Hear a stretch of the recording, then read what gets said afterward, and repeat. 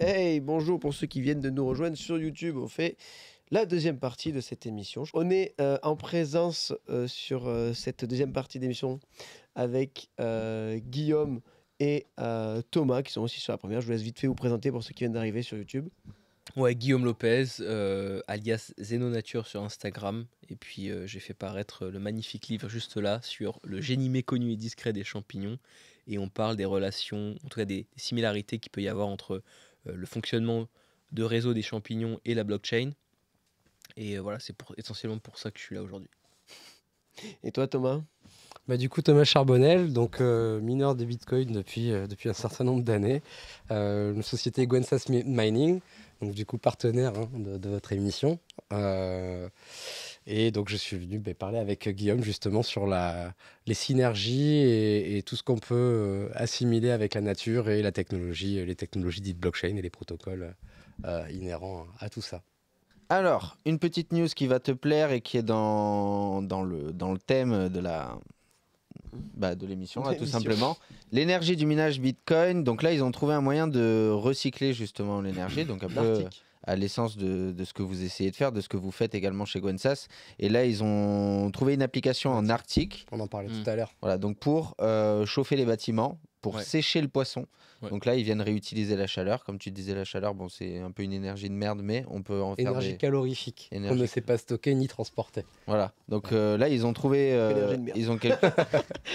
Bah non, regarde, on chauffe des maisons et on sèche du poisson avec. C'est Voilà. pas si merdique Donc, que ça. En Arctique, euh, voilà, il rappelle que, on rappelle qu'il y a des hivers polaires à moins 20, 20 degrés.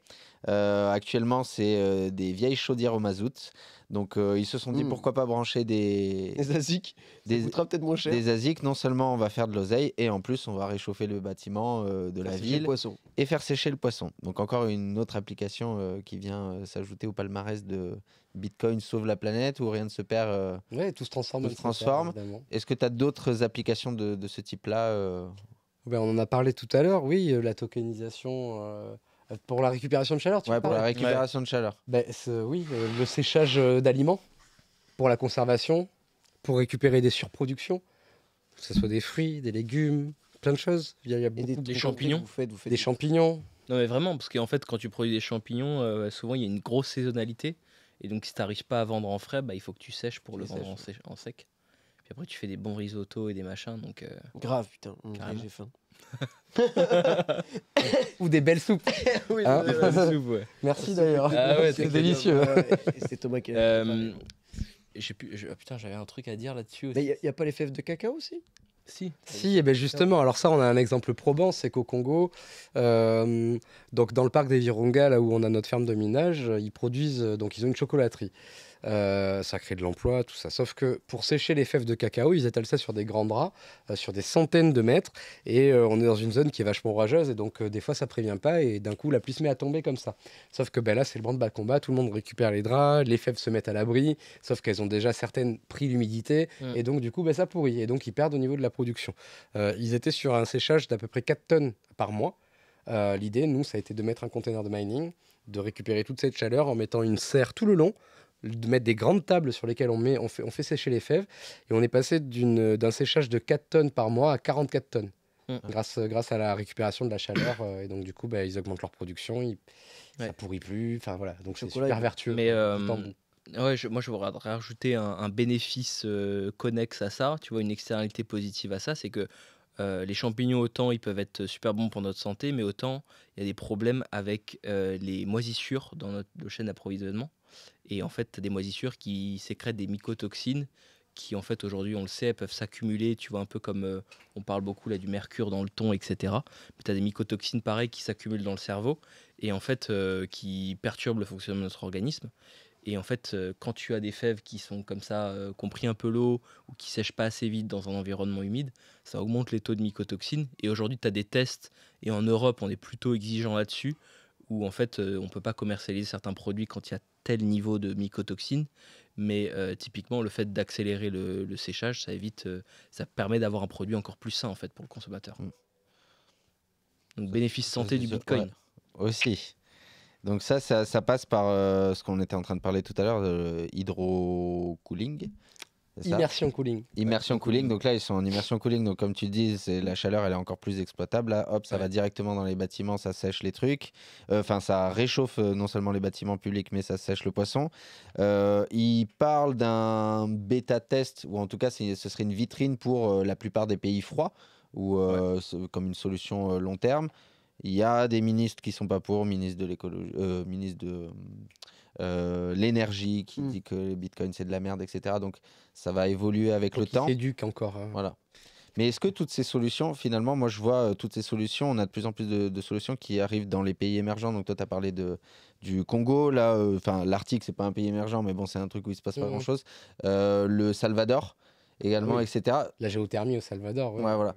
Pourquoi nous, en Europe, on peine finalement à, développer euh, des solutions euh, de ce type-là, où on vient valoriser l'énergie, où on vient euh, adopter le Bitcoin et des solutions qui peuvent être bonnes finalement pour l'écologie?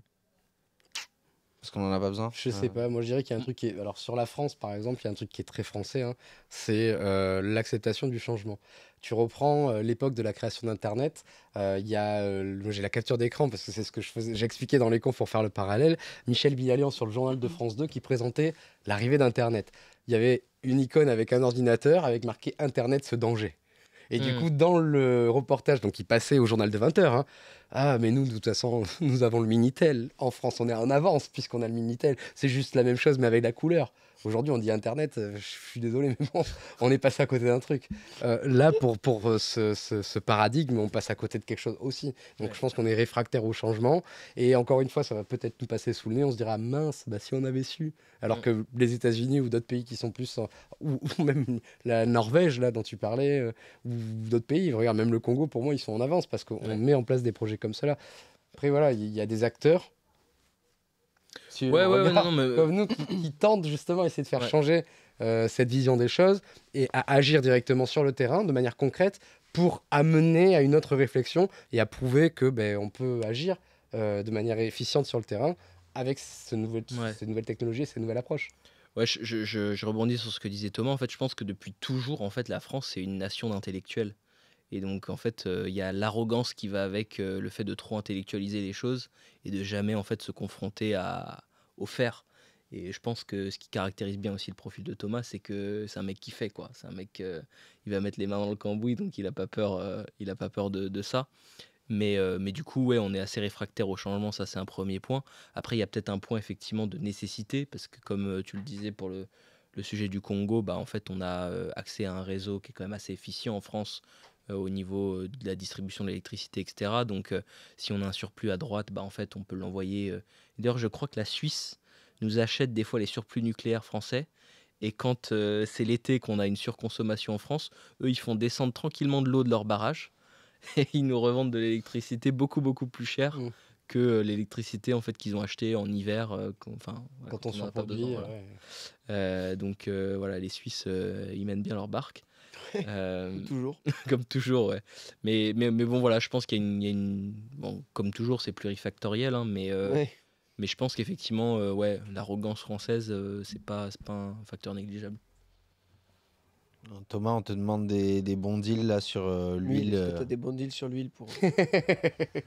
Pour, l'immersion cooling, Ah, ah oui, ils ont plus le chat, merde. C'est un mineur qui demande ça? Ouais, euh, qui, qui veut passer au- à l'hydro-cooling pour euh, et- également euh, réchauffer sa piscine pendant l'hiver. Ah ouais, bah pas, ouais. pas sans PV, on pourra réfléchir. Et puis moi, j'ai même un modèle, si tu fais ça chez toi, euh, où on rachète sur le bon coin, euh, tu vois, les gros frigos là, qui s'ouvrent sur le dessus. Ah ouais, ouais, ouais. ouais, et en réutilisant ça, il y a moyen de faire un truc à pas cher du tout, Ouais. en récupérant un radiateur de bagnole avec le, le ventilo, et on peut monter un truc, pas sans PV. Et puis moi, ça- moi ça me plaît ce genre de produit. Ouais, c'est clair. c'est ce genre de truc. euh, il, est- il dit si tu veux, on en parle quand tu veux. Ouais, avec grand plaisir. Euh, la France, c'est le pays de la morale, la Égale régulation. Ah, c'est vrai qu'ils ont plus le chat. Ouais, euh, le chat. J'ai les pompes, ach- j'ai les pompes échangeurs, etc. Bon, vous allez monter un, un truc, pas de souci. Donc là, c'est en Arctique. Euh, Est-ce que euh, il y a un intérêt plus grand Alors, on en parlait, mais toi, quand tu étais venu, c'était avec Edouard, où il disait il y avait quand même une plus grande facilité à aller miner dans des endroits Froid. froids, Mhm. parce que ça avait un impact quand même Ah sur oui. la qualité de C'est plus efficient pour les machines. la Ouais. machine, etc. Ah, ouais. Ça te chauffe. quelles, sont, euh, quelles pourraient être les prochaines destinations en minage? Alors nous, on revient de euh, Blockchain Life, Dubai Blockchain Life. Il y avait une big boîte qui s'appelait U-Miners. Je sais pas si tu connais. Non. Moi non plus, jamais entendu parler. Par contre, ils avaient un stand de, l- vraiment de la taille du bâtiment là. Le, dans, c'était dans un hangar, la Avec taille du bâtiment tout ça? avec des meufs en lycra, des Ouais, machins, des trucs. Ils avaient des bagnoles à l'entrée, euh, ils ont payé une boîte avec French Montana et tout. J'étais là, mais combien ils font d'oseille? Et apparemment, ils minent en Éthiopie. Donc, Ah oui, euh, complètement. Ben, j'ai rencontré, euh, donc euh, c'était en décembre, euh, j'ai eu la chance de participer à l'Africa Bitcoin Conference au Ghana. Et donc j'ai rencontré euh, ben, des mecs qui sont un peu précurseurs du développement du minage justement en Éthiopie. Et là, on- actuellement, on en parle beaucoup. C'est un peu le nouvel Eldorado. euh, euh, voilà, je, je- je- je vois aussi passer des trucs sur des, des groupes dans lesquels je suis de mineurs où ils proposent des plans pour l'Éthiopie à, des prix très avantageux. Donc euh, ouais, l'Éthiopie en ce moment, le- c'est c'est en vogue. Ben, L'avantage. L'avantage, c'est quand tu es autour des 3-4 centimes du kilowattheure, Ah ouais. ça devient sexy. ouais Voilà. c'est ça. En fait, actuellement, euh, bon là, j'ai pas regardé récemment, mais euh, si tu es au-dessus de 6 centimes du kilowattheure, ça sert à rien. C'est pas rentable. Enfin, ça coûte. Tu seras rentable dans très longtemps. Et voilà, l'idée, le nerf de la guerre dans le, dans le business du mining, c'est euh, combien va me coûter la production de, ce- de ce en fait. Et donc, ben, combien ça te coûte? C'est ton énergie qui est la base de la base, le nerf de la guerre. Donc, moins tu as du kilowattheure moins cher, euh, mieux c'est quoi. Hmm. Mais l'Éthiopie, oui, j'en entends beaucoup parler. Et puis j'avais rencontré donc en décembre euh, Nemo, il s'appelle, euh, la, la personne que j'avais rencontrée qui gère ça. Et voilà. Mais, euh, et après, là, bientôt, il va y avoir le Salvador qui va être super sexy aussi, puisque la géothermie, enfin là, ils sont en chantier toujours Hmm. pour la Bitcoin City. Et Bitcoin City fonctionne exclusivement en géothermie. Hmm. donc, pour euh, justement euh, éponger les surplus produits par la géothermie, la géothermie, c'est simple, hein, pour faire juste le petit, euh, le petit pan technique, c'est qu'il il y a de la chaleur qui sort de la terre, on fait chauffer de l'eau dans une cocotte sous pression, et cette pression envoyée par la cocotte fait tourner une turbine, et voilà, et ça crée Ouais. de l'énergie par la force de la cocotte. Comme la centrale nucléaire, mais Comme- sans le nucléaire. Exactement. La centrale nucléaire, c'est pareil. L'hydroélectricité, c'est pareil, sauf qu'on Ouais. injecte l'eau, Ouais. on projette l'eau. Voilà. Donc, il y aura, il y aura sûrement ça. Mais euh, Vous, vous êtes à combien euh, au Congo, on est à 4,7 centimes du kilowattheure. Ok. Et ouais, ça reste très bon marché par rapport à l'industrie. euh, 4,7. l'industrie. 4,7 Mm. ouais, centimes du kilowattheure. Sexy. Sexy. Sexy. Alors, tu as parlé de Bitcoin City. Nous, on va te parler de Bitcoin euh, Jungle. Exact. Euh, Costa jungle, Rica. Ça vous dit quelque chose? J'en ai vaguement Exact. entendu parler, mais j'y connais, non, je connais pas le sujet, mais j'en ai vaguement entendu parler. Francis Pouliot. Francis ça, me dit quelque chose, oui. Pionnier du Bitcoin. Ouais. Euh, c'est le fondateur de, de Bull Bitcoin. Ok. Merde, j'ai verrouillé la tablette. Je crois que j'ai une, Ah. je crois que j'ai une casquette. C'est bon le Bitcoin. Parfait. Oui, carrément, c'est bon, je vois. Père de Et- liberté. Et donc, en Costa gros, il a, il, a, il a immigré au Costa Rica, bah, attiré justement par. euh, Excellent Ouais. choix. Ah, on voyait pas le titre. Ah, ok. D'ailleurs, bon le Costa Rica, je crois Ouais. que c'est un pays qui euh, produit 100% de son électricité annuelle en électricité, en électricité verte, en énergie verte. C'est possible, ouais, parce qu'il disait justement qu'en gros, il avait été Ouais. là-bas, euh, Francis. euh, on peut l'appeler par son prénom maintenant, on connaît bien, pas du tout. Et parce qu'il a été par la culture de la liberté du pays, en gros. Euh, il s'est installé donc à Bitcoin Jungle. Donc c'est une communauté qui vise à créer une économie circulaire basée sur le Bitcoin et le réseau Lightning. Mhm. Pour nous expliquer ce que c'est le réseau Lightning, peut-être un peu plus après, hein, Mhm. Thomas. Et en gros, il trouve que l'adoption est facilitée en fait parce que la plupart des habitants sont quasi autosuffisants. Enfin, sont, Mhm. sont, sont souvent autosuffisants, même pas Mhm. quasi. Et euh, il y a absence de réglementation sur le Bitcoin. Donc voilà, il y a, donc là, il y a plusieurs questions. C'est euh, la régu, est-ce que ça aide, est-ce que ça aide pas? On en a vite fait parler, mais on peut revenir dessus. Est-ce que l'essor des crypto-monnaies euh, va forcément venir des pays émergents? Et est-ce que vous pensez qu'on va vraiment tous payer à Bitcoin un jour? Ça sera une trois- alternative sérieuse. Ben alors, première question. Alors, je sais plus ce que. oh, Rappelle-moi. Donc, Bitcoin Jungle euh, s'appuie sur euh, le Lightning. La Ouais, le régulation. Lightning. Régulation. Ah oui, euh, ok. régulation, c'est un frein au développement pour moi. Ouais. Et justement, dans l'idée même de, de tout ça, dans la philosophie euh, intrinsèque de tout ce développement, bah, je pense que c'est une hérésie de vouloir euh, le, le contrôler. En fait, c'est juste, euh, enfin, c'est juste, un, juste un frein au développement de tout ça. La deuxième question, c'était quoi pour le Lightning? Non. Ouais, Lightning, ça, ça, veux que j'explique pour le Lightning? Ouais, est-ce que tu fais Mm. Ok. Mais en gros, le Lightning, c'est juste que tu as la chaîne principale euh, qui était euh, euh, hyper chargée. Et donc, du coup, tu as des temps de transactions. Plus il y a de transactions qui sont faites, plus c'est long et plus ça devient cher au niveau des frais du réseau. Euh, le Lightning, en fait, c'est un réseau sous-jacent à la blockchain principale qui permet de désengorger la blockchain principale. Et donc, pour le Lightning, tu peux héberger un nœud Lightning chez toi, emmagasiner un certain nombre de transactions pendant un mois, par exemple, si tu es commerçant, tu fais payer les gens par le Lightning, ce qui fait que les frais de transaction ne te coûteront qu'une seule fois parce que quand tu as concaténé Mm. toutes ces transactions pendant tout ce temps, hop, tu l'envoies dans un bloc et au final, ça repasse après pour être validé sur la chaîne principale. Mais pendant tout ce temps, tu as désengorgé la chaîne principale, euh, ce qu'on appelle une side gros, c'est chain. une file d'attente. C'est une Un L2 non, c'est une, side... une side chain en fait. Donc euh, du coup, c'est une chaîne sous-jacente dans laquelle tu fais passer d'autres transactions qui ensuite se groupent entre elles Et pour que tu aies une seule un fois bloc. des frais à payer. Et donc Ouais. quand tu divises par le nombre de transactions qui sont passées sur ton Lightning, sur ton nœud, eh ben tu payes vachement moins cher que si tu avais fait une transaction à chaque fois sur le réseau principal. Là, c'est Gros, smart. pour le simplifier, hein. Non, mais en ouais. gros c'est ça quoi. Ok. Ok, je sais pas si Donc- dans le chat, je donc, pense que c'est clair. mais- Pour le Paraguay, euh, attends, pour le Paraguay non, pour euh, Costa Rica pardon, parce Costa que Rica, c'était intéressant. La première c'était le frein à l'adoption par rapport à la régulation, Ouais. j'en suis convaincu. Euh, ou alors Ah, il bah faudrait oui. le réguler de manière intelligente et, et compr- et que les gens comprennent plutôt que de se mettre à dos contre directement, comme chez nous avec Mika. Ouais, on va interdire le proof of work. Non mais Ouais. Enfin, je- tu te rends compte tout le potentiel que ça a derrière pour développer des choses. Bon, ouais, enfin, Ouais, mais niveau, niveau euh, moi je voulais réagir au niveau de la, régulation. Je pense qu'en fait, il faut toujours le minimum, le strict minimum, euh, mais nécessaire de régulation. Et le problème, c'est qu'en fait, euh, ce strict minimum de régulation, tu, le, tu ne peux le concevoir que quand tu es directement acteur de la chose, tu vois. Et euh, c'est pour ça que, bah, par exemple, euh, la France qui a été administrée par l'Église pendant des générations, ils avaient des voies, des voies de, de réglementation qui passaient par la paroisse et puis par euh, plus haut, plus haut, plus haut, plus haut. Et finalement, en fait, euh, euh, c'est pas tout la, le pape ne décidait pas toutes les, les- les- les législations. Il y avait euh, des étages qui étaient vraiment en contrat, en contact direct. Tu vois, c'est toujours en fait euh, bah, le fait de jouer sa peau en fait, donc d'être directement concerné par ces réglementations là. Et le problème, c'est qu'aujourd'hui, on est sur euh, des technocraties euh, où en fait, on a des gens euh, qui euh, décident sur la base de tableaux Excel, Ouais. qui vont pas du tout être impactés par les réglementations. Et en fait, euh, c'est un frein énorme Ouais. effectivement à l'innovation. quoi. C'est le souci de la bureaucratie, je trouve, c'est que les gens qui prennent des décisions, en fait, ils n'en subissent jamais les conséquences, donc ils s'en tamponnent un peu, quoi. Bah euh, ouais, c'est ça. Et, ils, sont, ils sont pas skin in the game, quoi. et, et pourtant, et pourtant en fait, bah voilà, il y a plein de, d'innovations qui seraient hyper bénéfiques, qui sont bloquées à cause de ça. quoi. Très intéressant dans le chat, la régulation n'est là qu'à cause des spéculations sur les cryptos, sinon ils ne feraient rien. Est-ce que vous êtes d'accord avec ça?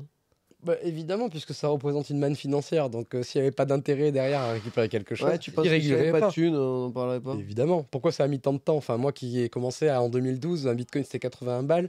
euh, ça a mis du temps quand même avant qu'on commence à parler de régulation. Enfin, on en parlait, mais c'était que euh, ah, il peut se passer ça. C'était que de- des Ouais. projections du futur. Aujourd'hui, c'est réel, c'est maintenant. Euh, ils en parlent réellement au Parlement. Enfin, voilà. Donc, euh, c'est parce que ça a créé une manne financière énorme, quoi. Dans le chat, ils disent surtout qu'il y a de l'argent à prendre, ce sont des parasites avant tout. Évidemment. C'est complètement ce qu'on dit. Ça, moi, je suis complètement d'accord avec ça. Est-ce Ouais. que les, les, les États-Unis, au contraire, sont plus en avance sur nous? Parce que ça, c'était la deuxième question. C'est est-ce que l'innovation viendra euh, que des pays émergents. des pays émergents? Ça dépend de si Trump est élu ou pas. Ouais, Ah. je dirais. Ah, est-ce qu'on va, en parler enfin, peut-être? Bah, c'est une des c'est, une des promesses de, de campagne où en fait euh, Elon Musk je crois qu'il doit réviser les administrations Euh, il doit dégager les personnes qui sont là en fait juste Gary pour faire euh, Gensler, là, ou Gensler, là, de la Ouais, SEC. tu sais qu'il y a des gens qui veulent le traduire en justice. hein. La, la Normal, plupart des boîtes crypto disent Ouais. ce mec Non, nous a fait a perdre des, des- des millions et des millions. ouais Logique. ouais donc euh, non Gary bah, out. Gary out, le nouveau meme coin. euh, Grave. Gary out. On a un jeu comme ça. Ouais, on a Ouais, un trop jeu bien. sur ça. Il y a, il y Mais, a euh, qui s'est créé là-dessus Non, mais j'aimerais bien, moi, Non, je bah- dessus, du coup. Il y a toujours des meme Gary out. et- Ouais, dans Pump Fun, dans 5 minutes, il est fait. hein. Et d'ailleurs, moi, je voyais des, des théories passer justement sur euh, les élections américaines, comme quoi si Trump passe, les meme coins vont s'arrêter. Enfin, les meme coins vont aujourd'hui le l'engouement, le narratif qui fait le plus d'argent, qui fait le plus de volume dans les cryptos, c'est les meme coins, donc les Hmm. les blagues, etc. Et les gens disent que les meme coins ne sont qu'un mécanisme de protestation envers le système financier, etc. Et du coup, si Trump rajou- ra- ramène la vraie euh, Le régulation, côté sérieux, quoi. le Ouais. côté sérieux, etc. Bah, du coup, le, le côté pré- Il y aura moins de place à ça, du coup. Ouais, il y aurait moins de place à ça. moi non plus, je pense Ouais, que moi ça non plus, existera je toujours. non Je suis parce pas d'accord. Parce qu'on aime rire, on aime déconner. en, en fait Et ouais, euh, c'est des gènes, voilà, c'est ça. Et je pense qu'il faut pas. Enfin, moi, c'est ce que je disais. La plupart des gens qui ont de la crypto, enfin, qui avaient de la crypto il y a longtemps, c'est des mecs souvent qui traînaient sur le dark, etc. et tout. Donc en fait, genre de base, c'est un peu des dégènes, tu vois. Ils aiment bien faire des trucs que les autres font pas, ils ont pas forcément peur du risque. Hmm. Et alors je trouve que, et je, et je pense, franchement, ce serait une étude sociologique à mener qui serait intéressante. Les mecs qui sont sur les meme coins, là, qui mettent du x10 en posant genre euh, 20K ou même des fois 5K ou 200K, et peut-être ils perdent ou pas, mais enfin, c'est. On a, on a, là, si tu veux cibler les dégènes sur la planète, ils sont tous là en fait. hein. Il n'y a pas un endroit où ils sont. Enfin, c'est là, là. Il n'y a pas un endroit où il n'y aura plus au même endroit, tu vois.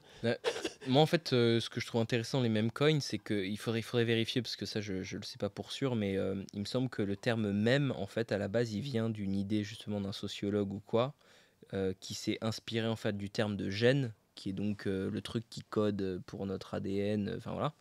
Et, et en fait, il y a quelque chose de fondamental dans les mêmes qui en fait un côté où ça se diffuse malgré la culture, qui est presque, viral. tu vois, presque comme du code génétique, mais euh, plutôt Mémoire intangible, voilà, une espèce de mémoire collective, etc. ouais, euh, Et en fait, du coup, c'est un vrai truc, quoi. Et je pense que c'est inhérent à l'être humain. Et en fait, euh, tant qu'il y aura des hommes, pour moi, euh, il y aura des gens pour rire à des blagues euh, comme ça, tu vois. Parce qu'il y a une partie de l'humour qui est culturelle et qui est. Voilà. Mais tu as une partie de l'humour, en fait, qui fonctionne dans tous les pays. Tu vois, moi, j'ai vécu au Japon et on a toujours tendance à dire euh, Ah ben le sarcasme, ça fonctionne pas au Japon. Je peux t'assurer que le sarcasme, si c'est bien fait, ça fonctionne au Japon. hein. Et donc, tu vois, si tu fais des mèmes un peu sarcastiques, ça passe. J'ai Ouais. pas l'impression que c'est si vieux que ça le même. Enfin, j'ai l'impression. Mais que c'est le terme, on le ouais, définit c'est ça, comme ça, mais en fait, Ouais, on toujours c'est fait. ça. Regarde dans la culture populaire, euh, les références d'humour. Euh, nos parents, quand ils disaient ah, c'est batte, où il y a plein de trucs comme ça. Je connais Ouais, pas. bah ok, bon, Moi, à, je connais pas non plus. à l'époque, c'est batte, ça c'est trop bien. moi, à Bordeaux, on dit euh, c'est- gavé bien, tu vois, on aurait pu mettre une image de c'est gavé bien, la chocolatine, le, Ouais. le pain baguette, euh, la baguette Mais et le, béret. Enfin, tu vois, c'est que des trucs comme ça qui sont des références culturelles Mais tu qu'on a et, et bref, aujourd'hui on appelle ça, Ah, ça, même c'est parce qu'on les représente. Là, du mais- coup, c'est culturel, donc tu mais peux le avoir une monnaie. Bah, pas entièrement. Ah bon? Je pense que tu as des. Justement, tu as des types d'humour qui sont vraiment euh, inhérents à l'espèce humaine. Et typiquement, tu vas faire du sarcasme, encore une fois. Je... Alors, je peux, je peux évaluer ça qu'à l'échelle de l'anglais, du français et du japonais. Mais euh, en fait, je pense que toutes les cultures pratiquent le sarcasme, tu vois. Euh, Franchement, je pense que c'est pas culturel, ça, pour le coup. C'est Enfin, vraiment. en, euh, en Corée du là, Nord, je pas- pas- je suis pas sûr. bah, à mon avis, ça se passe pas très bien si tu fais du sarcasme en Corée du Bah, tu risques ta vie, quoi. En Corée du Nord Ouais, en Corée du Ouais. Nord, ouais. il y a des cultures qui sont moins second degré et tout. euh. Ouais, ça c'est sûr. Bah, ça c'est sûr, ouais. évidemment. Moi, je- j'ai une petite anecdote comme ça où j'étais euh, en Inde, je suis resté longtemps en Inde et euh, il y avait une maladie euh, qui était en train de se répandre. Je sais pas si c'est le Zika ou un truc comme ça. Attends, Ouais. Le Non, ou la, ou la malaria ou un truc comme ça. Ouais. Enfin, je sais plus ce que c'était. Et les gars m'expliquent et tout. Et il a dit Ah ouais, euh, en fait, ce qui fait chier avec ça, c'est que c'est dans les, mou- les moustiques et tout. Et qui sont dans l'eau propre. Hmm. J'ai dit bah, bah, ça va, vous en avez pas beaucoup chez vous. Les- et les mecs m'ont tué sur ça. Genre, ils, Ah ouais ils ont, ouais, ouais, ils ont pas du tout rigolé. Ils ont dit, euh, C'est drôle pour ça. ouais. Ouais. Ils ont pas du tout. Et l'autre fois aussi, j'avais testé d'autres blagues. Enfin, des fois, ça passe pas du tout les. Enfin, Ouais, mais après, ils l'ont peut-être ressenti comme une attaque parce que t'étais pas inclus dans le Ouais, groupe. voilà, genre, voilà, ouais. T'aurais été indien, ça fait- serait passé. J'étais pas assez indien pour faire. le- Tu vois, le, le- le truc qui est super Comme bien, c'est qu'en fait, tout le monde, quand il se connecte à Internet, il se sent à la maison. Et c'est Ouais. pour ça que t'as des gens qui commentent euh, des pires insultes comme euh, les meilleurs trucs. Parce que tu vois, ton influenceur préféré, t'as l'impression d'être pote avec. Et euh, et t'as l'impression d'être dans ton bon droit d'allumer un mec parce qu'il a dit un truc que t'es pas d'accord avec, tu vois. Et euh, ouais, Internet, c'est la maison. Donc en fait, t'es es tout de suite inclus dans la bulle, alors qu'en fait, euh, dans la vraie vie. euh, Ouais. Tu vois, ty- typiquement, c'est c'est- et ça, c'est Tom, tu, tu le sais, tu le sais mieux que personne, mais euh, si tu commences un compte Instagram ou un compte YouTube et que ta première vidéo, c'est tu te présentes et tu dis ce que tu fais dans la vie, ça intéresse personne. Tout le monde s'en branle. Tout le monde s'en branle. Et pourtant, tu vois, on est dans des codes qui sont différents euh, dans la réalité que sur Internet, quoi. Bien sûr, bien sûr. C'est un très bon exemple, ça. Dans le chat, ils disent le sarcasme, c'est savoir rire des choses tristes? Point d'interrogation. Euh, définition pure. Non, je, je, sais- je sais même pas, faudrait regarder la vraie sarcasme, Moi, définition. je l'ai pas, ouais, la définition. Il y a un de- putain d'épisode de South Park qui est génial sur le sarcasme. Je- alors là, j'ai plus le nom, mais. Bah, le sarcasme, c'est quand euh, ta mère euh, t'a déjà mangé un McDo et elle arrive avec un gratin dauphinois et tu lui dis Oh, il n'y en a pas assez, je vais avoir encore faim.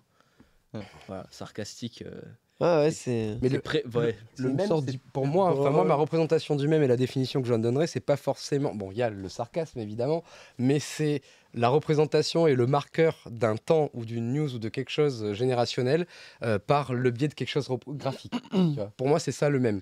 Et donc après, quand on le réutilise en, en GIF ou quoi, et qu'on le- qu'on le partage, enfin voilà, un même pour moi, c'est ça. Ça peut être sarcastique, ça peut être, ben, par exemple, MAGA.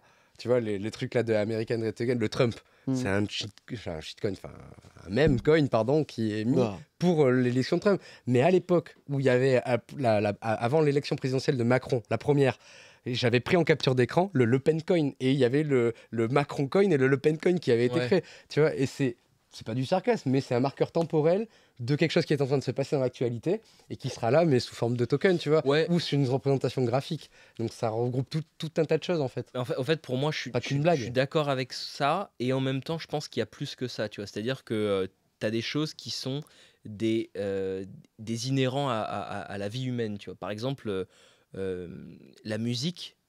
Enfin, moi, je connais personne autour de moi qui n'aime pas la musique. Des gens Si. aiment des genres j'en- de moi, musique. j'en Moi, je connais moi.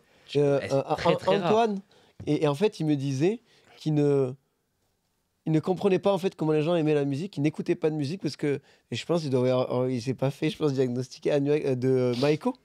Il me disait, moi, la musique, je comprends pas. Ça t'oppresse, ouais. Même, même pas oppressé, il me dit juste, c'est comme j'entends du bruit en fait. Ouais, enfin, Genre, on, est, on est d'accord que c'est fou. Non, mais je pense que- 99, Ouais, connais quelqu'un comme ça des exceptions, des gens, évidemment. là, ils aiment la musique. Évidemment. Euh, pareil Et par pour contre, les histoires. fois quoi. C'est pareil pour les histoires. Tout ça, le monde plein aime de les biais, hein. histoires. C'est plein de biais. Hein. Tu vois Mais non, mais je veux dire, c'est en fait. Biais euh, d'historicité, c'est un vrai truc pour choper l'attention. L'espèce humaine, en fait, elle, se raconte des histoires. C'est ça. De base. Non, mais.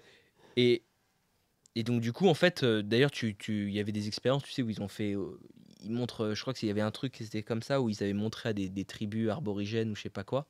Ils arrivent et puis ils leur montrent la, cir- la civilisation euh, thermo-industrielle.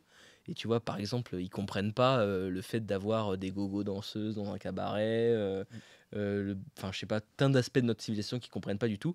Par contre, tu leur fais écouter un- du Mozart ou quoi. Et les mecs, ils sont en mode Ah ouais, ça c'est beau, tu vois Ça, ok. tu vois et, et en fait euh, là tu peux pas te dire qu'en fait il y a un c'est pas culturel là c'est vraiment genre juste Ouais. euh, Mm. dans l'essence même de l'être humain il y a des trucs comme ça qui t'animent et en fait si tu arrives à capturer ça avec un même coin bah banco quoi Et euh, je pense moi, je, je suis assez d'accord, je te rejoins sur ça. Et, le même coin est un super signal, un super indicateur sur pas mal de choses. Une fois, j'ai fait une stratégie de communication avec, avec des mèmes qu'on faisait. Ouais. Ben, c'est en fait c'est hyper shareable. Enfin, genre, euh, c'est euh, bah ouais c'est c'est vraiment Ouais. c'est- c'est puissant. Et on en raconte, je sais plus comment il s'appelle, mais je le croise souvent dans les soirées crypto. Euh, il bosse avec Partouche, il me semble. Euh, et lui, il analyse les mêmes sur tout Internet, pas que les mêmes coins, les mêmes, Mm. pour prédire ce qui va se passer après ouais sur les marchés, etc., etc. Truc de fou, tu vois. Et ça fonctionne. Il y a- Pour l'instant, les corrélations sont assez intéressantes. ouais, ouais ça me donne pas Oh, les mecs, ils sont forts sur ça.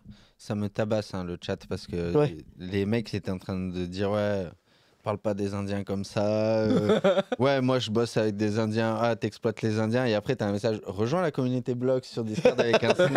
alors que les mecs sont en train de se tabasser. Les gars, c'était mes potes. hein, Ça faisait un an que j'habitais là-bas, donc j'ai le droit de leur faire des blagues quand même. ouais c'est clair Mais euh, ouais, donc euh, là, est-ce qu'on lance le jeu maintenant du coup des, des meme coins? Parce que on est en train de parler de ça. entre- Ah, il manque une entre news. la trois- Ouais, il manque une. Mais vas-y, on fait le jeu, non? On- bien. Peut, on faire le jeu parce que la dernière fois que il y a Thomas qui est passé, je, je lui ai posé la même question que vous. Quelle est la dernière crypto que tu as acheté? Il m'a dit Fat Girlfriend. J'ai dit, j'ai dit non, j'ai dit non, c'est C'est c'est- vraiment des gens. Il y a Non, pas vraiment non, pas toi. non, non, pas toi. euh, C'est euh, Non, non, non, non, non, non. c'est Thomas Petitroux qui est passé. Et je me suis dit putain, Ah oui. ils, ils abusent sur les blasts de crypto. Donc Ouais. ce qu'on a fait, c'est qu'on vous a préparé différents noms de crypto et vous allez devoir, euh, T'as bien caché, Romain. hein. sur des mêmes coins Tu mets pas les. C'est des Ouais, sur les meme mêmes coins. coins. Il va falloir deviner si ça existe ou ça vous allez existe pas. devoir ah ok ok deviner ok si ça existe ou non. Ah, c'est. Alors, le premier, c'est Cum Rocket. Non, ça n'existe pas, ça. Est-ce que Camrocket existe? 2 Tera, quoi. mais là les gars c'est moi je pense que ça peut exister Cum Rocket? Ah ouais, Dans ça le peut chat, exister. vous pouvez jouer évidemment. genre Team Rocket en mode comme Rocket euh, Attention, voit. pas Est-ce que la Rocket, ça existe? Ouais, Rocket, Évidemment. ça existe. Ouais, ouais, ouais. Évidemment, ça existe. Et les gens, ils ont le ticker et tout là. CRT, euh, Ouais, c'est- ouais. ça existe. C'est abusé. putain Est-ce que l'île Macron, ça existe? Putain, bah, du coup, vu que Cam Rocket, ça m'étonnerait pas que l'île Macron ça existe maintenant. Mais moi, je pense que tant qu'il y a un trend et justement, tu vois un truc autour de possible, euh, ça peut exister. Attends, mais Cam Rocket, Dans le du chat, ils disent non, je pense quoi pas. genre Team Rocket, genre Team Rocket, mais euh, du sexe. Oui, Il y avait un coin comme ça, justement, tu sais, qui avait été fait euh, le Jimmy's. Ouais. Où c'était M'en un parle truc pas. euh, avec. euh, Oui, toi, t'en avais acheté, oui, c'est vrai. Bah, Il y avait le POC Ah, bah dis donc, t'as Oui, il y en encore avait donné des bons plusieurs. conseils, toi. Ouais, ouais, mais tu sais, non, j'ai juste oublié de le revendre à l'ICO parce que j'avais changé de tel et du coup, ça m'avait fait. Donc, du coup, je suis arrivé. il était Fuck déjà nature, non, mais pas du tout. Alors, ça. Alors, att- Giga Chad, ouais, ça, je du sais coup, que ça du existe. coup, L'île l'île Macron. Macron. L'île Macron Pourquoi pas? Pourquoi pas? Moi, je dirais pourquoi pas, mais je le vois quand même pas exister. Ok. Ben, t'as encore deux points. Enfin, du coup. Tu as gagné Deux, deux, points pour. Guillaume, zéro pour toi. Thomas. Ah, c'est un concours Ah, Putain, mais je vais Ah, investir dans les mêmes je coins en fait. Hein. Si, si je. je Total connais- Rug Pool, ouais, ça, ça existe. Totally Rug Pool. Ouais, ça, je pense que Tu ça vois ce que c'est un Rug Pool euh Ah, je vois pas ce que c'est. C'est quand les, les devs euh, retirent toute la liquidité, se du barrent projet, avec la Ah ouais, bah oui, c'est sûr. Parce que là, il y, a- il y a une blague. Ça, c'est grosse blague, ouais. Il y a une blague de dev. euh, Attention. Allez, Ouais. Ouais, Total Rug. Pool existe. Giga Chad, il existe aussi. Ouais, je pense que ça existe aussi. Ça, je l'ai il y a Giga pas longtemps. Ouais, il Ouais, existe c'est sûr. aussi. Est-ce que ans. Nature Non, existe Fuck ça, je crois Nature. pas. Je, le- je le vois pas exister. Je vois, je Un vois truc pas en de- plus. ça existe Un, un- un truc, tu vois, Arrête. un truc en, en proof of work là où ils minent que sur de l'électricité qui coûte très cher. Putain, ça pourrait Ah. être drôle, hein, n'empêche. Ouais, ouais, il peut- un, un genre de doigt Ça, c'est d'honneur. c'est Mais ouais, bah oui, clairement. Il pourrait y avoir un, doigt d'honneur aux mecs qui disent euh, Bitcoin. Un truc vraiment où Pour les pas le droit poncifs, Si, d'avoir moi, je le vote deux. pour- moi, je pense que ça Bon, existe. ok, allez, je te suis. Et non, Eh ben, non, Ah, Ah, putain, tu nous l'as vendu, c'est pour ça que tu Eh l'as ouais, vendu. C'était nous l'a vendu. Du coup, moi par contre, je vais le faire. Walking Tomato. Est-ce que la Walking Tomato existe? Une- La tomate qui marche. Ouais. Ça, c'est très possible. c'est vraiment, tu sais, les mecs Ouais. qui mettent des mots aléatoires à côté les uns les autres. Elle marche à côté du champignon Genre de du, Jumping Duck. du, du cornichon de Rick et Morty, ouais. Walking Tomato, euh, Oui, oui, si ça existe, tu penses? Je pense. Est-ce que ça existe? Allez, Ouais. regarde, il y a même le gif. Il y a même les gifs d'une Ah tomate ouais. qui marche. Donc Walking Tomato. faut Ok. que ça existe. Pépito Power. Bah là, alors tu vois, ça-. Typiquement, ce genre de truc, je pense que c'est parce qu'on n'a pas les codes culturels, tu vois. Ouais, bah ouais, ouais, bien En sûr. fait, pour s'imaginer le même coin, il faut avoir le code culturel, il faut avoir euh, décrypter le truc. quoi. Mais J'en ai 10 millions, il y en a, ils disent de Walking Tomato. Ah ouais Mais ça coûte combien Ça coûte C'est 0 c'est la merde, c'est, c'est du shitcoin. Ah, Dites-nous dans le chat combien ça coûte tu là. sais qu'il y a eu une époque où je traînais un peu sur 4chan et c'est pareil, tu voyais l'arrivée de mèmes et de trucs qui avaient aucun sens. euh, Ouais, et- Et c'est les plus drôles. Ouais, de ouf. des fois. ouais. Il y avait des trucs, c'était. En même temps, on regarde les réels. euh, Pépito Power. comment on se tabasse de réels. En ce moment, Ah bah oui. enfin, nous, Euh, enfin, on s'envoie On des s'en va réels. euh, quel Ouais, con- ouais, ouais. Bon, bref. Bon, bref. le, le Walking Tomato, il est à 0,0000000. Ah ouais, d'accord. Ça pèse. Ouais, Ouais, c'est- c'est bah, pas c'est mal. pas fun quoi. Et le dernier, Pepito Power. Non. Truc genre avec un Mexicain. Euh. Non, non, non, non. Ouais, arrête. Non, mais c'est Moi, je pensais plus au gâteau. tu Non, vois, ça mais- n'existe pas, ça n'existe pas. Ouais, ouais, le gâteau, tu vois, on pourrait avoir ça. ouais. Ah bah ça existe pas. Ça, Ah. ça existe pas. On a demandé à Tu nous auras pas cette fois-ci. Là, c'est ChatGPT là. c'est- Ouais, on a demandé. ChatGPT qui dérape. Ok. J'ai dit euh, invente-moi des meme coins drôles et il Ouais, me bon. sortait que des trucs genre euh, Pépito Power quoi. J'étais là bon allez. Non, ça, ça va encore, c'est mieux, je trouve. Avec sa tendance wokiste, euh, Ouais. J'aurais pas pensé qu'il euh, euh, sorte un pépito Donc, power. du coup, les Ouais, plus, c'est dé- vrai. les plus du chat, vous avez vu, il y a trois coins à créer là. Ouais, grave. ah, mais fuck Ah, nature. fake nature c'est marrant. ouais. Franchement, c'est drôle. ça, tu peux faire un. En vrai, euh, il y aura peut-être un business model, tu vois. Tu demandes des noms de même coin à ChatGPT et puis tu utilises le, le site dont tu. tu... Pumfun. Ouais, Pumfun. Fuck nature, we are Et tu fracture. crées, euh, tu crées une masse de, de même coin, tu vois. Franchement, c'est là, là, il commence. Hein. Ouais. Enfin, Pumfun avait été sur le site la dernière fois. Toutes les secondes, t'as, trois, con- euh, trois ou quatre mêmes coins, même plus peut-être, qui sont faits, quoi, tu vois. ouais. Bon, après, la production de valeur de ça. euh, Ah, pff. Ah. C'est- Si ça fonctionne, euh, c'est un peu le ticket de loto, quoi. ouais. Faut avoir du bon market après. Ouais, ça fonctionne même pour les Il y a créateurs. Fuck the World sur BTC. Fuck the world. Ouais, sur BTC. Ouais, on, a, on a une autre question aussi dans le chat. Est-ce que Shib pourrait atteindre les 0,1 Dans un an. euros dans un an On Ouais, parle de Shiba, euh, Shiba Inu qui est peut-être Ouais, la ouais, ouais, ouais. deuxième ou la troisième crypto meme coin. Je sais plus. euh, je pense qu'il y a Dodge, PP et, et Shib. Euh, Shiba Inu, c'est pas celle qui a Ouais, accepté Elon Musk Shiba Inu. Celle non Shiba- euh, celle d'Elon Musk c'est c'est Dodge, Dodge. C'est Dodge, ok, ouais. qui a bien pumpé en plus euh, récemment euh, le Dodge. Pour vous, il y a un vrai euh, avenir sur la capitalisation des meme coins? Parce que là, euh, en fait, euh, il me semble que Elon Musk a fait une, une interview il y a pas longtemps où il disait oui, oui, ça arrive parce qu'ils sont en train de sortir X Payment, Ouais, j'ai pareil que ouais. WeChat, etc. Donc les gens spéculent sur Ah ça va être en Dogecoin, etc. ah oui.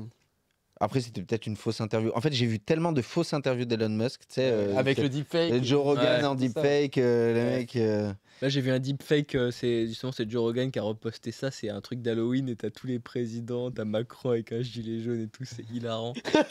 Ah, franchement, franchement c'est c'est génial. Euh, Pour vous, il y a un vrai avenir sur le- la culture du vide. Voilà, sur- euh, Il y aura toujours. Je pense que voilà. ouais, moi je pense encore une fois. euh, Peut-être qu'il y aura moins d'engouement qu'aujourd'hui. euh, Peut-être que ça sera encore plus j'en. J'ai oublié ma boule de cristal avant de venir, donc je peux pas Peut-être dire. ce sera une Tu autre. l'as pas pris hein. avec Eh toi non, je l'ai pas Non, pris malheureusement. En vrai, le- les Shiba, les C'est Shiba, qu'il arrive à bien miner. euh, les Shiba, les, les, les chiens Shiba. euh, Ouais. Et tu vois, il y a un truc qui C'était est. c'était trendy il y a quelques temps là, donc euh, t'as eu euh, tous les youtubeurs, euh, Squeezie machin et De tout, quoi qui qui qui dessus acheté un Shiba, etc. Mais euh, je crois que maintenant ça va être une autre race de chiens et en fait ils vont Mm. sortir le, le Cocker Coin ou euh, le Tekel Coin. Le caniche coin. Ouais, non mais, Non, hein. après, il y a un truc cheaté depuis toujours sur Internet, c'est les chats, mais les oui, chiens et bien sûr, c'est ce que j'allais dire. quoi. Tu vois. Et, et je crois que, Ouais. il- je sais plus le pourcentage, mais Bah le pourcentage d'Internet de photos de chats, je crois, est énorme. Ah oui, non mais c'est sûr. Et là, j'ai fait lancer à ma soeur, parce que ma soeur, elle adore les chats, elle a des chats. Et elle fait des vidéos, elle faisait des vidéos drôles et tout. Je dis, lance. D'ailleurs, c'était chez Thomas quand Ouais, lancé ouais, ça. Je dis, lance une vidéo, un, un compte. Mec, euh, sur TikTok, première vidéo, 1000 vues, quoi, à peu près. Ouais. Première vidéo, alors qu'il y a des gens euh, euh, qui postent de- des vidéos euh, tous les jours et qui dépassent pas les 300 vues, tu vois, avec des parles de toi, interviews, de, la prod, etc. tu parles de toi là ouais, c'est ça, évidemment, évidemment, évidemment. Je sais que t'as un, un blocage avec TikTok. Ouais, non, mais je, je pense encore une fois que la- le succès de Shiba Inu, c'est effectivement de se baser sur à la fois le trend de, du Shiba Inu qui était à la mode et en même temps euh, le trend euh, bah, des chiens, etc. qui en fait, euh, bah voilà, c'est le meilleur ami de l'homme. tout le monde a un côté, une Et du- avec les Du, chiens. Quoi. du coup, le chien, c'est plutôt de droite ou il est plutôt de gauche? Et bah, Ça non, mais si, non, mais si, il y, le avait- chat, il est plutôt de droite il est plutôt de il y a, il y a un mec qui a écrit un, un bouquin là-dessus là. Je Il y l'ai a un vu. mec- ouais, tu l'as vu. Je ouais. l'ai vu passer, ouais. C'est qu'il dit en fait euh, les gens de droite ont tendance à préférer les chiens alors que les chiens ils ont plutôt une tendance euh, Euh, de gauche. communautaire euh, Ouais, ouais. de gauche et que inversement les gens de gauche ont tendance à préférer le chat alors que le chat dans son mode de vie a plutôt une tendance de droite Mmh. c'est-à-dire indépendant euh, conservateur L'analogie, elle est euh, marrante. etc. C'est énorme, ouais. C'est pour ça que je- Ouais. ça m'a fait penser à ça, c'est pour ça que je Ouais, la sors. ouais. Ils disent le Akita, c'est le grand frère de Shiba. Après, Akita, oui ça ouais euh, Akita Ken après il y a, il y a un- il y a un truc qui est bizarre. Enfin, pas, pas qui est bizarre, mais il y a deux tendances. C'est par exemple le Dogecoin, ça sert à rien et c'est assumé à 100% et euh, jusqu'au bout. Ouais. Alors que le Shiba et la Mm. plupart des gros meme coins, c'est-à-dire dès qu'ils arrivent à une certaine capitalisation, ils, se disent on a de l'oseille, on va créer une blockchain, on Ouais. va créer des utilities. Ouais, mais ça, c'est Euh, tu sais qu'autour de. Shiba, il y a du RWA, il y a vers le il y a bas, trucs, il y a des machins. ouais. Pas Ah du ouais. tout. Pour moi, c'est resté pareil que c'est comme le Doge. Ah non, je non, vois pas plus loin ils que essayent tous de développer quelque chose. Donc, est-ce que Ouais. pour vous, c'est une bonne stratégie Non. ou restons dans. C'est- Ça Non, parce sert à qu'il rien? est décrédibilisé dès le début. Et comme on le dit euh, euh, en tant que personne, se coller une étiquette, c'est vachement facile, mais l'enlever, c'est hyper dur. Et donc, dès le début, t'es parti en mode, ah, c'est une blague. Comment tu vas être pris au sérieux après? Enfin, c'est très compliqué. Alors après, ça serait une énorme surprise. Et, et puis, je serais content peut-être de me tromper. Mais pff, je doute fort. ouais moi je Il y a des pas- trucs beaucoup plus importants et intéressants aujourd'hui qui développent sur des choses concrètes. Euh, ouais moi je pense que je suis pas d'accord avec toi je pense que ça c'est une analyse trop rationnelle en fait possible. hein. Tu vois, je pense que c'est trop rationaliser le truc. euh, je pense qu'effectivement, euh, comme on l'a dit, il y a quelque chose de super, euh, finalement presque extrêmement tangible au même coin, qui est en fait cette viralité qui est inhérente soit à notre culture, soit à, soit à notre euh, condition humaine. Et euh, je pense que bah, développer un truc derrière, c'est pas une mauvaise idée. Alors après, effectivement, peut-être qu'il faut que ce soit plus dans la ligne de ce que c'est à l'origine. Mais, euh, mais je pense que se dire que parce que en fait on n'y voit pas de valeur ou que c'est pas aussi voilà concret que par exemple les. C'est pour être pris au sérieux, moi, en fait, que je dis ça. Après, faut Ouais, voir. ça faut analyser, voir la- au sérieux, c'est ça Mais le si, truc, parce que la tech qu'il y a derrière, faut voir si c'est tangible. S'il y, a un Ah. y a un mass user dessus, euh, euh, comment tu fais pour tenir la route? Enfin, faut qu'il y ait des gens qui le supportent, tu vois, la techno. Donc euh, si derrière c'est un truc à la con qui a été calqué sur je sais pas quoi, enfin je sais pas, j'ai pas. Ouais, mais si la technologie. Ouais, oui, oui, il y a peut-être Ouais, d'autres acteurs qui faut la font un truc combinaison. Ouais, sûr. sérieux avec des gros investisseurs derrière pour développer la même chose que ce qu'ils sont en train de faire eux, mais qui, ils ont peu de chances de concurrencer ceux qui sont déjà acteurs là-dedans, tu vois, en Mais- train de bosser à fond euh, pour des. Enfin, je sais pas. Ouais. Tu vois, typiquement, euh, regarde une voiture, il y, a des- il y a deux aspects. Euh, on a le modèle là, tu vois, Tesla, il y a, il y a deux aspects dans une voiture. Il y a la- l'aspect puissance et en même temps, il y a aussi l'aspect visuel parce qu'en fait, tu remarqueras qu'une voiture, elle a un visage en fait. Mhm. Et c'est pas pour rien qu'une voiture, elle a un visage avec des phares, euh, une espèce de bouche, avec le, bouche, ouais, venti- le, le ventilateur, etc. C'est parce qu'en fait, ça te parle euh, inconsciemment. Donc il y a Mhm. l'aspect puissance technique, Mhm. mais il y a aussi ce côté en fait, euh, il Sens faut que ça te- esthétique. euh, ouais, esthétique et il faut que Je ça te bien. parle en fait, tu vois. Ça Pourquoi le combi, d'après toi? Ouais, ben Parce oui, que le combi, bien ça sûr. fait un sourire, tu vois. Donc, Ouais. euh, bien sûr, mais je pense que tu vois, euh, on peut rationaliser les choses jusqu'au bout, mais en fait, euh, même si elle était plus performante que euh, la Tesla au niveau accélération, personne ne voudrait d'une voiture euh, cyclope unijambiste, tu vois. mhm. Personne. Parce qu'en fait, tu t'aurais pas la même proximité avec ça, quoi. Et je pense que. si les Anglais, je pense à leur voiture à trois roues là, tu sais, Ouais, celle qui, ouais, les celle qui Anglais, mais tombe non, dans les les virages. Vous la voyez cette voiture Ouais, ouais, je vois tout. les, les tuk-tuk. ouais. Ouais, les gens- C'est des gens tout, tout anglais là. Ouais, ouais, ouais. C'est à Ouais. part, les Anglais, ils aiment bien. Ouais, mais tu, tu- tu conviendras que c'est pas la majorité du marché de la voiture l'automobile. Évidemment. Moi, je m'étais fait une réflexion sur ça, sur le côté agressif de Peugeot qu'on changeait. Et Mm. il y a les deux dents, comme les dents de sabre, un peu à la préhistoire. Ouais. Je me dis, je suis sûr que. Alors, je sais plus si on avait vécu à cette époque-là, peut-être tu nous diras en même temps. Est-ce, qu'on- est-ce que l'Homo sapiens ou l'Homo peut-être néandertal a vécu au même époque Ouais, ouais, ouais, ouais, ouais, ouais. Et tu vois, et je me dis, du coup, dans nos gènes, il doit y avoir que le truc qui ressemble à ça, c'est agressif, tu vois, faut se méfier, c'est envoyer. Donc, s'ils, ont fait ça pour ça, je trouve ça assez smart. Peugeot, ils ont fait tout l'inverse en définitive, parce que tu parlais des deux aspects, il y a le moteur, le côté puissance, etc., et le côté esthétique. Ah ouais. Alors certes, ils sont devenus agressifs sur l'esthétique, mais leur pure tech avec la courroie qui est immergée dans l'huile et tout, moi j'aime bien les trucs mécaniques à côté, je me renseigne beaucoup, c'est une grosse merde leur moteur. Et donc aujourd'hui, ils ont perdu complètement leur, leur fureur du lion qui rugissait de l'époque, où ils avaient des super moteurs, des super bagnoles, etc. Aujourd'hui, c'est des pures merdes, tu vois, leur moteur. Et par contre, alors en termes d'esthétique, ouais, super, elle en jette, elle, les dents, elle est agressive, mais par contre, à l'intérieur, il n'y a plus rien, tu vois. Enfin, bon, bref. Ça a été un choix de la marque. Ouais. Donc, ça pour faire l'analogie Non, mais que disait ma- Guillaume juste marketingement avant. parlant, je pense que c'est hyper intéressant Ah oui. euh, ce que tu disais, Tom, parce que en fait, euh, moi, je vois les choses euh, un petit peu comme, euh, tu vois, tu as le domaine de l'ordre, de l'organisé, du prédictible, et tu as le domaine du chaos, justement, de euh, la création, de l'aventure, etc. Et je pense qu'en fait, euh, tu vois, se confronter à un truc comme ça, qui est une menace, c'est une aventure, tu vois, forcément. Ouais, ouais. Et en fait, euh, le fait que la voiture te renvoie à une aventure, te renvoie à de la difficulté, à quelque chose comme ça, une sorte de confrontation, c'est peut-être une manière de pallier à ta vie qui est trop routinière et où en fait euh, tu fait. vas juste Mhm. faire euh, et finalement en fait euh, du coup ce qui vend c'est ce que les gens n'ont pas forcément tu vois c'est ça que Fanta ils te font des- ils te faisaient des pubs là, avec des girafes à Gronibar Avec les nazis Ah non, ça c'était avant non, ça, c'était avant. non, non, mais en tout cas, voilà, tu vois. Et, euh, et je pense que c'est à ça que la voiture, elle peut renvoyer. Et en fait, du coup, bah, même si le moteur, euh, le moteur c'est de la merde dedans, en fait, c'est bien maquillé. Quoi, tu Ah, vois. bien bien, sûr, bien sûr. Non, Ouais. ils ont réussi parce que c'est- c'est un succès commercial, il me semble. Mais Non, mais Euh, moi, je, je dois avouer que. Moi, J'en ai croisé pas mal des, Ouais, ouais, c'est vrai. des sabres. Là. Des sabres, là. dans deux sabres, ouais. Mais Il y a le côté, tu vois, genre euh, badass et tout. ouais. Bah ouais. C'est vrai. Donc, ces meme coins, ils sont très souvent euh, sur Solana. On va pas se le, le- Est-ce que tu connais la blockchain Solana? Euh, de nom, ouais. Tu peux On expliquer en a vite parlé fait, la euh, fois. euh. ah, Bah, c'est une blockchain qui est sur le papier très efficiente, beaucoup plus rapide que Ethereum et tout ça, qui propose la même chose. hein. Il y a un EVM, enfin un. EVM c'est pour développer des applications dessus, c'est un Ouais. environnement euh, virtual machine, on appelle ça.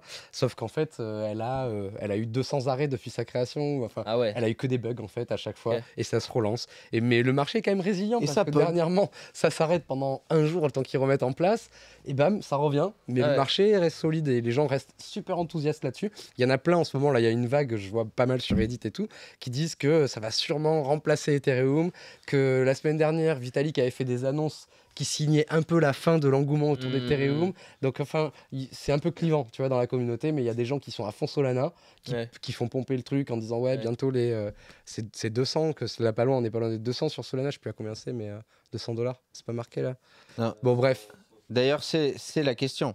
Est-ce que Solana pourrait dépasser Ethereum? Parce que là, tout le monde, on entend parler, tout le monde le dit.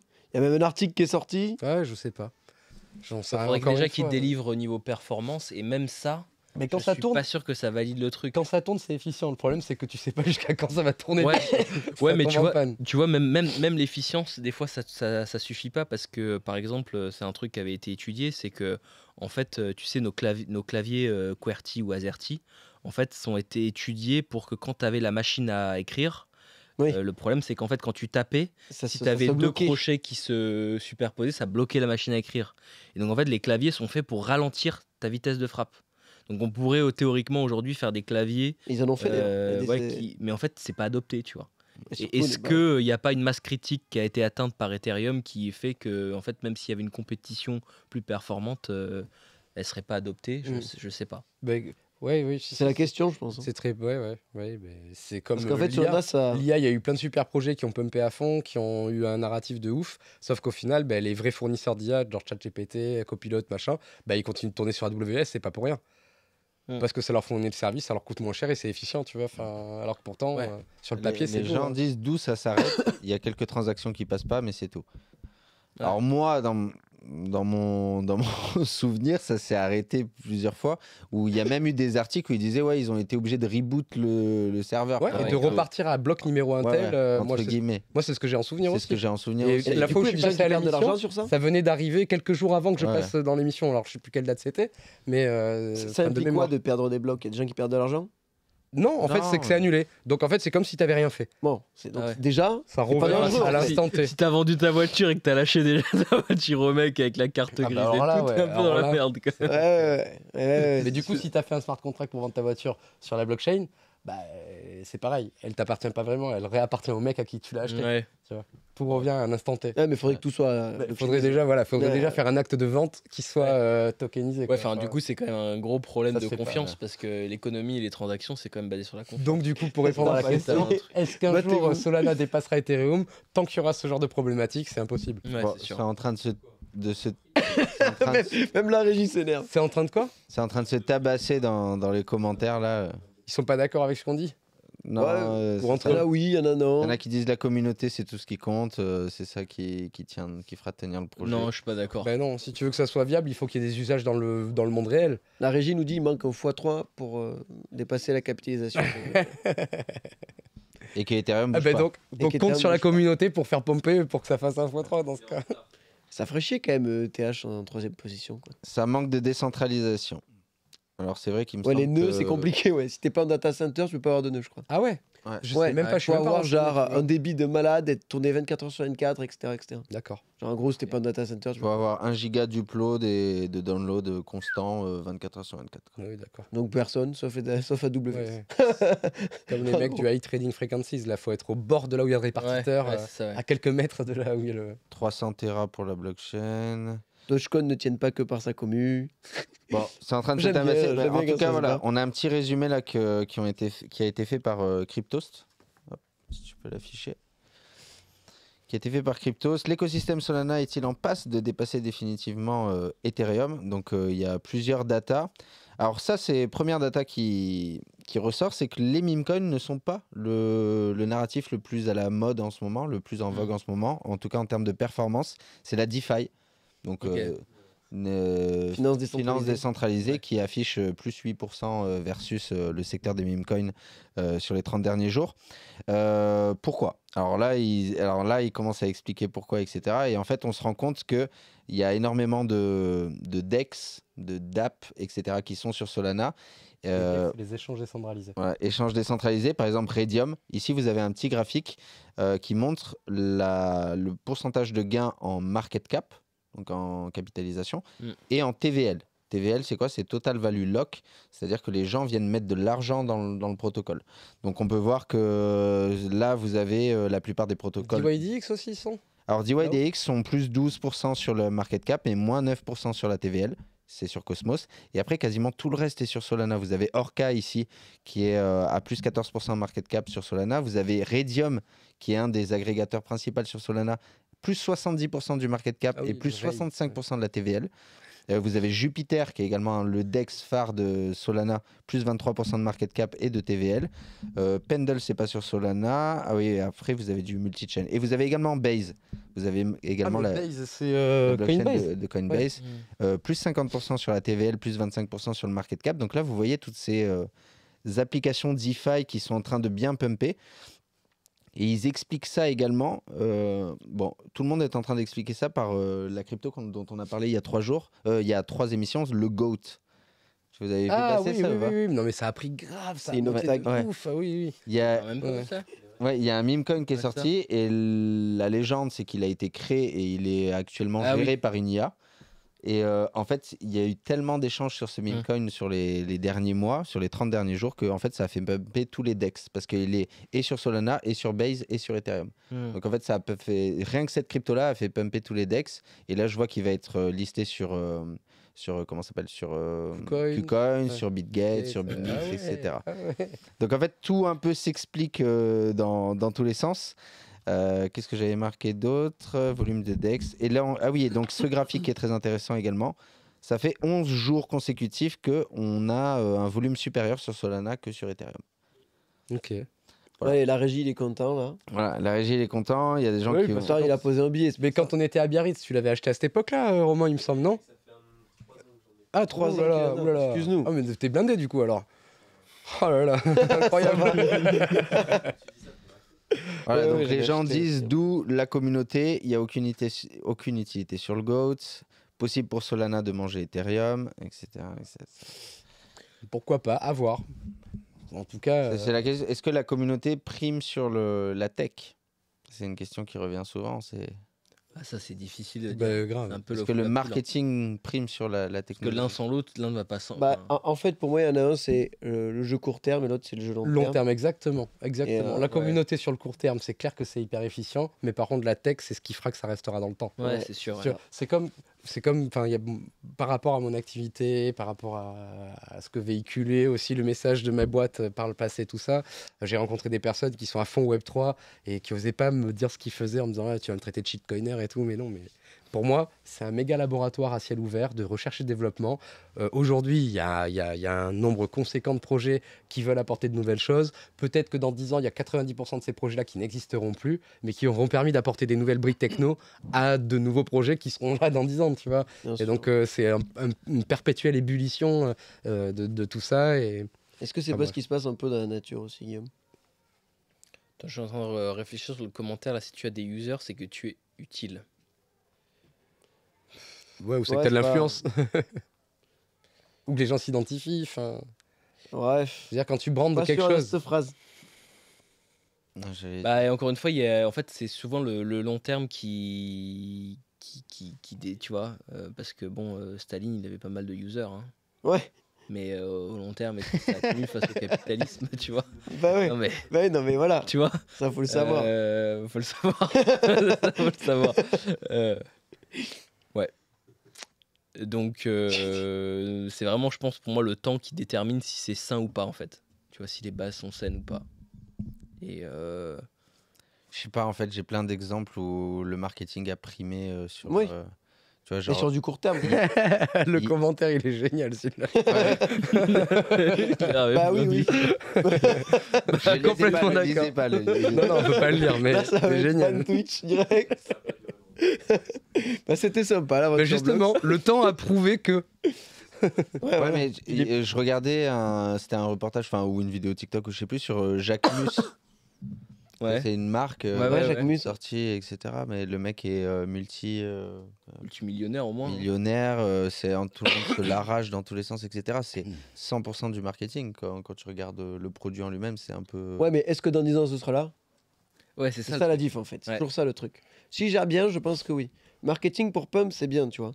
Mais après, tout dépend de ta vision. Est-ce que tu étais là pour faire 10 millions euh, en deux ans? Bon, ben voilà, tu Bah, te casses, tes millions, tu repars. Euh, je sais plus si. Parce que je l'avais écrit dans le, dans le bouquin, mais je sais pas si ça a été laissé par l'éditeur. Je, je me souviens plus de tout pas du bouquin. ton, ton Non, propre- si, je l'ai relu plein de fois, mais euh, je parlais justement du marketing et euh, du marketing et le, le- enfin la relation entre le marketing et le produit et celle entre la rhétorique et la philosophie, tu vois. Mm. C'est-à-dire qu'en fait, normalement, la rhétorique, elle est censée être à- normalement hein, à- Service de la philosophie. au service de la philosophie. Tout à fait. Euh, et pourtant, des fois, bah, on se rend bien compte qu'avec la bonne rhétorique, euh, finalement, la philosophie, euh, Mm. elle peut passer un peu à la trappe. Quoi. Mais en même temps, euh, à un moment donné, le, le réel revient au galop et C'était quoi le rapport avec les Euh, pff, je sais plus pourquoi j'aborde ce sujet-là dans le livre. Euh, Mais en fait, euh, le, livre, c'est vraiment une histoire. hein. Il y, a, il y a plein de- il y a plein d'histoires qui sont passées en revue, et notamment des histoires sur euh, bah, l'avènement de la vie sur Terre grâce aux champignons, et puis ensuite, du coup, ce que ça implique dans nos modèles, notamment agricoles. Et, et en même temps, bah, du coup, j'essaie de décrypter en fait qu'est-ce qui est du fait des hommes et qu'est-ce qui est du fait finalement de Urine fongique. ouais La nature. Enfin, je me souviens plus exactement pourquoi j'ai dit- j'ai- j'aborde ça dans le livre. mais je- enfin, Je me souviens plus exactement pourquoi j'ai écrit ce livre. Non, non, non, le livre, sais pourquoi j'ai. Les clubs, ça a des users, mais ça sert vraiment. Est-ce que, quelque mais est-ce que ça sert vraiment à quelque Bah, euh, le, le ma- le marché des drogues, la marche, le marché des drogues, c'est quand même toujours. euh, Ah bah, en fait, ça sert parce que tu rends dépendant, quoi, en fait. Bah, la nicotine, alors euh, fun fact encore intéressant, c'est que la nicotine, il y a moins de, il y a moins d'occurrences de maladies d'Alzheimer chez les fumeurs, parce qu'en fait la nicotine est neuroprotectrice. Bon après, bien. elle- elle- du coup, j'ai continué. non mais elle est, elle est neuroprotectrice à des doses euh, bien plus faibles que ce qu'il y aurait, ce qu'il y a même dans une seule cigarette. Ouais. Mais du coup les bio, Merde.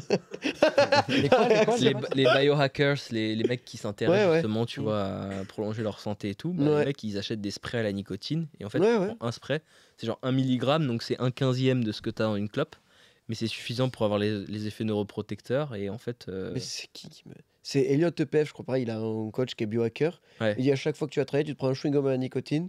Boum, tu fais je sais pas quoi, des trucs comme ça. ouais mais c'est une petite dose et puis après en fait euh, ce qui est nocif dans la cigarette c'est surtout toutes les autres substances, le fait de Bah, La combustion, quoi. la combustion aussi, le fait de voilà t'as les goudrons, les machins. Peut-être fumer du goudron, ouais, voilà. Donc que- la cigarette, est-ce que c'est utile? Bah il y a le côté relaxant, il y a le côté routine, et puis il y a l'impact de la nicotine aussi. euh. Mais si tu le commences pas, ton corps n'a pas besoin. Puis il y a le geste, il y a l'association C'est avec sûr. euh, euh, le goût que ça donne avec un café, avec, euh, Ouais, puis ça avec un verre d'alcool. compliqué, ouais. enfin, Avec ça, ouais. une bière, Avec avec côté un- culturel. Je Ouais. comprends pas, je Alors comprends qu'une vraiment pas. Avec un une petite smash, bière, euh, avec un smash. Et ouais, et puis ouais, c'est c'est Ah, une bonne question. Tout, tout- tout projet utile a-t-il des users? Euh, Très philo en vrai. hein. Bah non, je regarde. pense qu'il y a des euh, projets qui sont peu utiles qui ont des users. Quoi. Ouais, mais regarde, Donc, que typiquement euh, Nikola Tesla, euh, il a fait des trucs super utiles. hein. Ah ouais, ouais. Mais Non, bah oui, oui, grave.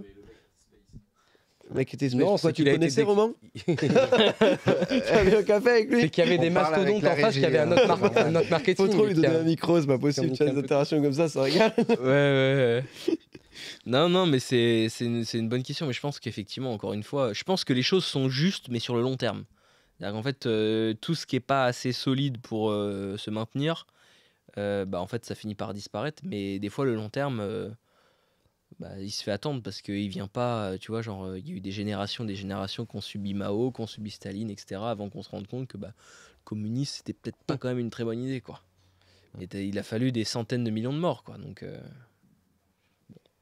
Je suis d'accord. Comprends vite, mais il faut l'expliquer longtemps. Quoi. Ah, mais vous êtes sûr? Faut Peut-être essayer quand même.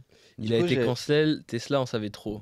Ah ouais, puis il y Ouais. avait- il y avait Edison en même temps qui justement voulait euh, vendre leur réseau électrique. Enfin, Non, mais Edison, ouais, Ouais, ouais. Edison, pardon. mais, euh, Les intérêts. euh, Ouais. Bon, Et bref. Petite anecdote sur ça qui est, qui est intéressante. Voilà, petit, euh, petit moment, un petit instant culture avec euh, les, les- les frères Lumière, donc inventé. Il me semble que c'est le cinématographe. Et Ouais. euh, euh, Edison qui avait inventé une version bah, à l'américaine. Parce qu'en fait, le, le- le truc du cinéma français, en fait, c'est que tu le partages avec des gens autour de toi. Alors qu'Edison avait fait la version américaine où c'était solo. En fait, tu regardais tout seul dans un Ah, truc, etc. J'ai oublié quoi. le nom. Ouais, c'est ça, c'est une sorte d'Oculus de l'époque, tu vois. Ouais. En fait, bah, je pense que c'est un peu le smartphone d'aujourd'hui, tu vois. Enfin, genre, t'avais quelque chose qui bougeait, qui était qu'à toi, qui que toi qui voyais, plus ou moins. Ouais. Et, euh, et pareil, donc ils se sont combattus pendant un moment avant que ce soit le cinéma qui gagne, l'expérience dont tel, ton- tel qu'on le connaît, Mm. tu vois. En fait, le mec était sur toutes les inventions, il avait, je pense, des équipes, etc. Et le but était de contrôler le marché de l'innovation à, ce- à cette époque-là, quoi. Hmm. Donc c'est un truc spécial, en fait. C'est pour ça qu'avec euh, Nikola Tesla, je suis pas expert, hein, parce que c'est vraiment un sujet qui est, qui est- qui est hyper complexe. Mais j'avais écouté un mec qui parlait, des- il se tabassait, mais vraiment, quoi. Il y avait des bagarres d'avocats, des trucs, ils se volaient, ils se faisaient oui, cramer ils, les... ils sont venus cramer cramer sa maison, etc. son, Ah ouais. labo et tout ça. Ouais, ouais, ils Ouais. sabotaient. Enfin, genre vraiment, c'était un, un truc de malade. Et je crois qu'on a fait. euh, il y a eu ce réseau d'électricité en, en alternative justement pour les ampoules ou je sais plus quoi. Enfin, il y a toute une histoire. Ils s'étaient battus sur ça entre Ouais. le, le- Alternatif ou Ouais, continue, ouais, ouais, continue. ouais, Ouais. continue, ouais. Et parce qu'en fait, ils avaient déjà euh, euh, baqué un deal avec la vente de cuivre et Ouais, tout ouais. ça pour faire le câblage. Et donc, du coup, bah, c'était si lui faisait son truc, c'était hors de question parce que du coup, ça mettait tout bancal. Alors pourtant, c'était plus efficient. Exact. Mais euh, du coup, c'est le même deal entre marketing et euh, l'utilité réelle au niveau de la tech. Là, ils avaient le marketing, ils avaient le poids pour aller le vendre. pour- lobbying aussi. Sauf que derrière, en termes de technique, il y avait déjà mieux qui se faisait avec Tesla. Ouais. Euh, Mais ça, Pareil, c'est pareil sur la voiture. hein, euh, Fun fact aussi, la voiture électrique a été avant, inventée avant la voiture euh, Thermique. euh, avant Ouais, le, moteur thermique. ouais, c'est Ouais. ouf. Mais comme tu dis, il y avait du pétrole à écouler, etc. Donc les Ouais, et puis je pense à l'époque, on n'avait pas le stockage qu'on peut avoir maintenant, le savoir sur ça. Mais en fait, je crois que le moteur thermique, en énergie pure, donc en litre de pétrole que tu mets dedans et en énergie retransmise par le moteur, je crois que tu perçois 50%. ou Ouais, 60%, ouais, aujourd'hui, on ça. arrive. ouais, Alors que le Toyota moteur électrique, un c'est moteur là qui 95, est, quoi, euh, un truc comme ça. C'est la rec- le record d'efficience et on est au- autour des 50 et quelques pourcents. Ouais. Le moteur qu'a sorti Toyota, c'est un gros, c'est un truc comme ça qui fait 300 kilos, qui est ultra efficient et euh, on est à 50 et quelques. Alors que l'électrique, je crois, on est du 95, un truc du genre. Ouais. Enfin, genre, Ouais, c'est énorme. En fait, ça paraît logique, en fait. Tu dis évidemment, c'est genre ça va faire des économies, etc. Mm. Mais bon, faut avoir la tech, quoi. Non, puis même, euh, t'as pas l'usure des pièces aussi avec le moteur euh, électrique. Ouais, bien sûr, beaucoup moins. Bah, en fait, ouais, en fait, tu vas te péter, tu changes le moteur, quoi. Bon, la batterie, par contre, elle est dégueulasse quoi. Ouais, ouais. C'est- Du coup, ça amène à la question euh, que tu as demandé, Thomas. euh, Tu demandé. Est-ce que tu peux m'apprendre quelque chose que la majorité des gens ignorent? Ah. Euh, ben, j'avais, j'avais un truc, mais c'est, c'est plus pour Guillaume qui. qui, qui- que- T'en as peut-être un autre. J'en ai Peut-être peut-être un peut-être autre. un fun fact. euh, Un un- truc, euh, quoi la, me- la C'est meilleure plein de cannelée de trucs. Bordeaux, c'est ça euh, Alors, oui, mais ça va intéresser personne. Mais est-ce que vous saviez qu'un des plus vieux euh, métiers en France, donc ce n'est pas péripatéticienne, mais c'est tapissier décorateur, et que à l'époque euh, des rois, euh, c'était les seuls avec les chevaliers à avoir droit au port de l'épée dans la cour. Voilà, donc c'est un métier qui était ultra badass, ultra stylé, parce qu'en fait le tapissier ben, euh, décorait, mettait en place les rideaux qui permettaient d'isoler donc les châteaux, et donc était euh, très proche de la femme du roi. Euh, bon bref, voilà. Et tu pouvais découper des têtes, en plus. Et tu pouvais découper des têtes, quoi. C'était trop stylé. C'est Et donc- tapissier et, découpeur donc, de têtes. j'étais- et donc, pour rappel, j'étais tapissier décorateur dans ma toute première vie.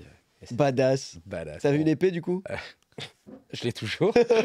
non, je rigole. Je rigole. non, non. Putain. Guillaume Euh, pff, oh, Faut que j'en sorte un sur les champignons. Mais celui que t'as. Ben oui. Ah, Nous, on connaît rien sur les champignons. Ouais, dire ce que le, tu veux. World Wide, le World Wide Ah ouais, oui, majorité, oui, oui, ça. c'est ça, Ouais, on- ça, le- on, mais génial, on- c'est on ça. devait parler du, du Wood Wide Web. Ouais. euh, parce qu'en fait, en même temps que l'émergence d'Internet, c'est là où on a commencé à s'intéresser aux relations mycorhiziennes. Et en fait, euh, on se rend compte qu'il y a un réseau dans les forêts. Parce qu'en fait, tu as plante A qui connecte avec champignon euh, euh, B et champignon C. Et en fait, euh, du coup, tu as une espèce de, de nœud, justement, sur lequel viennent se brancher deux champignons. Et en fait, euh, la plante peut recevoir des substances du champignon A, la mettre dans sa sève qu'elle va retransmettre au champignon B. Donc du coup, en fait, tu as, des interactions hyper Des complexes. getaways et tout. Ça va, ça va même plus loin que ça. Sur les... Mais en fait, c'est beaucoup plus, c'est encore plus puissant qu'Internet parce que Internet, tu as des liens, tu as des pages, etc. Mais c'est inerte. Donc il n'y a pas de volonté propre d'un lien, tu vois. Mm. Alors qu'en fait, le champignon, il a sa volonté propre, il a son petit esprit euh, capitaliste, tu vois, où en fait, il, il agit, il agit aussi dans son intérêt. Et euh, donc, du coup, en fait, les interactions entre plantes, champignons et au-delà de ça, même euh, avec les animaux, parce que si tu prends par exemple, euh, bah tiens, ça, ça fait un, autre fun fact, la truffe, en fait, elle mime des phéromones pour en fait attirer des mammifères souvent qui viennent la déterrer, la manger et qui en fait vont déféquer les spores plus loin, donc pour la disséminer. Mmh. Et en fait, selon l'espèce de truffe, ça fait des phéromones de différents mammifères. Et par exemple, la truffe euh, blanche du Piémont italien a fait des phéromones de castor. Donc, du coup, faut un castor pour aller la chercher. Il n'y a Bah, pas de castor non, en ouais. Italie, merde. elle, elle exci- elle excite les castors, voilà. La truffe excite les castors. Euh, Il Mais y a donc voilà, des cochons tu veux aussi, typ- non? typiquement, ouais, bah ouais, ouais, il y, en a, il y a des truffes euh, pour chercher. le sanglier et tout. Ouais. Mais donc, si tu Oh, prends une truffe, donc la truffe champignon mycorhizien qui va se connecter avec euh, certains arbres et qui en plus va avoir besoin d'animaux pour disséminer ses spores et euh, qui, enfin, tu vois, donc ça, ça fait des, des- vraiment des interactions et des, des, des- ouais, des interactions extrêmement complexes, quoi. Et, et- et y a- il y a- ça va même plus loin, parce que par exemple, tu as une forêt, tu as un arbre qui commence à être infesté, qui commence à être malade, eh ben, il va prévenir par ce réseau les arbres environnants qui vont pouvoir peut-être mieux se protéger, et donc l'information sera donnée autour. euh, et va Ouais. J'avais lu un truc comme ça, super Ouais, ouais, ouais. Bah alors en euh, fait, euh, ça c'est la version, en fait, justement, c'est la version un peu centrée sur euh, la plante, où en fait c'est la plante qui va prévenir ses congénères en mode, eh les gars, Attention. faites gaffe et tout. Mais en fait, ça c'est pas du tout, euh, parce que tu vois, c'est encore, euh, On parle comme ça, les plantes ouais, qu'elle parle comme ça. Non mais typiquement, tu vois, c'est de l'anthropocentrisme où en fait on essaye de Bien sûr. de- d'accoler à une plante des ressentis, etc. humains, quoi. Mais c'est c'est c'est Ouais, ça marche probablement pas, ça. exactement Une ça. petite en brasse- fait. brasserie. Ok. Mais c'est la représentation qu'on en fait, nous, humains, reste 10 minutes. pour essayer de le rendre Bah, tangible c'est-à-dire qu'en fait, si tu veux, ce qu'on sait, c'est que la plante, elle, elle réagit au stress, elle sécrète euh, des ARN messagers, des trucs, etc. Que ça, il y a une chance que ça se retrouve dans le réseau mycorhizien parce qu'en fait, le, le- le- le champignon, il va récupérer de la sève et en même temps, il va récupérer euh, certains de ses messagers. Et en fait, quand une plante de la même espèce va lire cette, euh, Cette cette code, information, ouais. Il va recevoir l'information et donc du coup il va, il va se préparer. Mais est-ce que sciemment la plante se dit ah tiens putain euh, je vais je vais prévenir mes bros pour qu'ils se préparent au- à l'arrivée des pucerons ça c'est pas du tout sûr quoi. Hmm, Ok. Ah oui, carrément. Mycelium Gang. Ouais. Donc voilà. Gang. Voilà. Et comme euh, quand on a étudié ces, ces interactions-là, où que ça a commencé à être un peu mainstream, c'était aussi euh, l'avènement d'Internet. Euh, Il y a eu ce côté un peu marketing où pour que ça passe bien auprès de l'opinion publique, on a commencé à parler du Wood Wide Web pour www comme World Wide Web. Et euh, voilà, c'est un petit peu l'histoire. J'ai que des pubs pour du Lion Men's en ce moment. Tu recommandes? Lion's Mane. Bah en Lion- fait j'en vends. Donc, euh, Quoi, Lion's Mane? C'est- euh, le champignon, on en, a, on, en a, on en a juste là, j'ai ramené. euh, parce que on- une de nos activités justement c'est de faire des, des Toi qui fais compléments. les ads? Non, moi je fais pas les ads. C'est pas frère, ouais, c'est pas l'autre. Non, parce qu'en fait, nous, on a mis les, on a mis les, on a mis l'argent dans les produits et pas dans la pub. On a fait un truc à la Elon Musk, tu vois. Ouais. Mais euh, pour l'instant, on n'est pas encore à la. C'est un Tesla. booster neuronal euh, de ouf. Faut Ouais, vraiment donc, s'enseigner euh, là-dessus, ça vaut le coup. Ouais, Lion's Mane, en fait. Ceux-là, là, euh, particulièrement, ils sont. C'est véritable. Le produit est bon, testé, sourcé. C'est de la bonne. C'est du- de l'efficient pour de vrai de vrai. C'est ce que Alors, tu. je crache pas sur la concurrence, mais j'en prends. c'est ce Et que je peux vous dire qu'il y a à l'avant, il y a l'après. hein.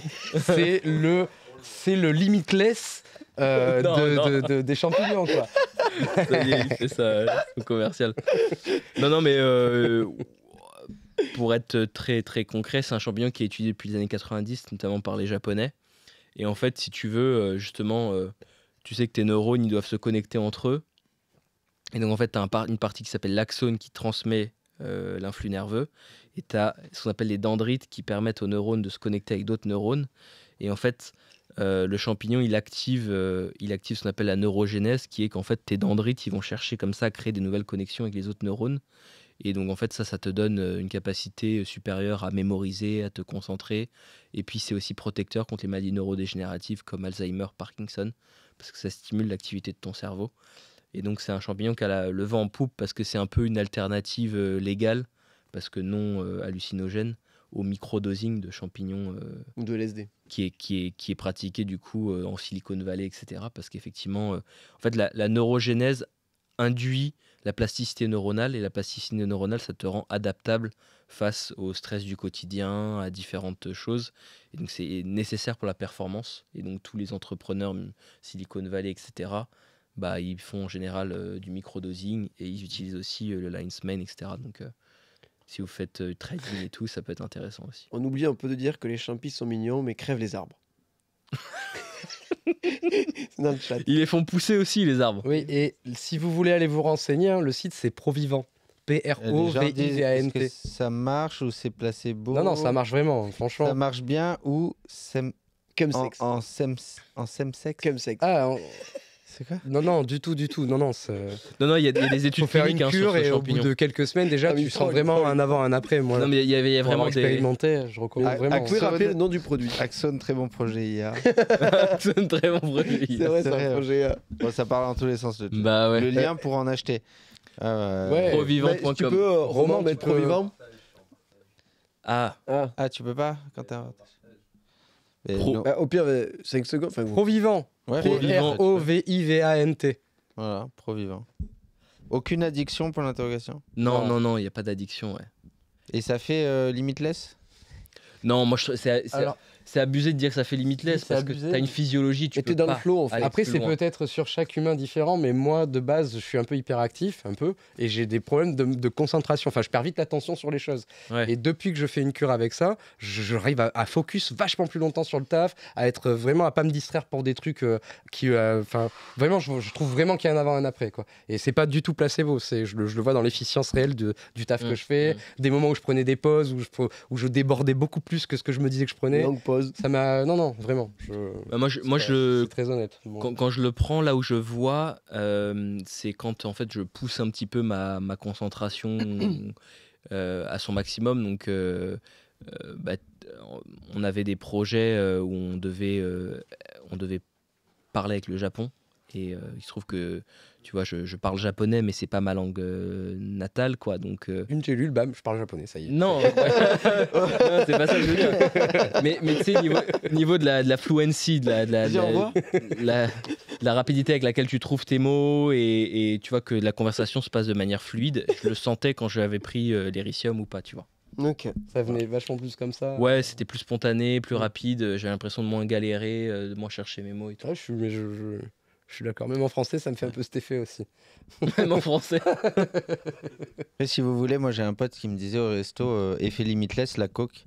Il disait. Ouais, mais par contre, t'as l'addiction, t'as une redescente dégueulasse. Non, Ouais. c'est pas forcément conseillé. Il hein. a dit ouais, euh, C'est moi, chimique moi, à ça mort, fait euh. limitless sur moi, euh, ça, ça- ça faisait ça. J'ai dit ouais. Ouais, mais ça a ses limites et après. euh, C'est- C'est pas du tout Ouais. addictif, euh, vous pouvez essayer. euh, c'est- Ah, mec, affreux. non, me faire un disclaimer au moins. Ah, non, non, mais ils savent, moi je suis le pire, j'ai jamais touché euh, ce, ce truc-là. Moi j'ai une tendance euh, addictive, c'est-à-dire que dès que j'aime euh, quelque chose, ben, je vais être très vite euh, accro au truc, tu vois ce que je veux dire? Ouais. Donc du coup, c'est en, en soi, c'est une force parce que du coup, je sais que je dois toucher à rien de.